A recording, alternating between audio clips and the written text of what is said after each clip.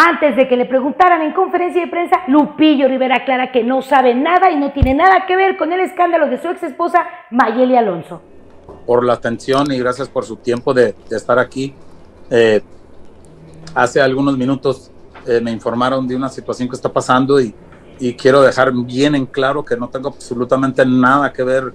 Eh, yo me voy dando cuenta ahorita en la mañana. Yo ahorita estoy acá en un asunto muy personal eh, con, con, mi esposa y eh, Giselle y estoy acá este, en apoyo nada más.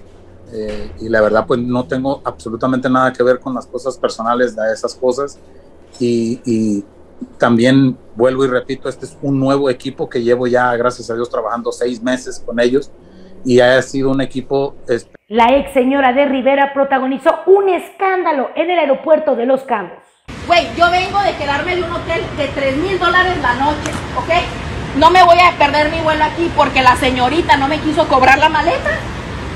No me la quiso cobrar porque no la pagué en el, en el F. Me quieren cobrar 1.500 dólares por la maleta.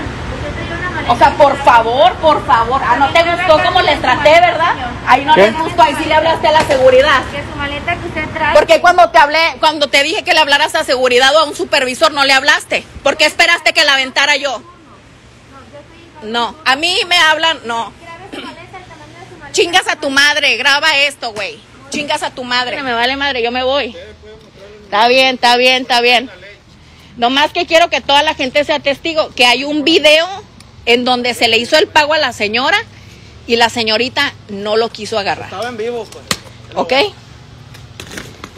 Ahí va. Y usted trabajando y fumando muy mal. Bueno.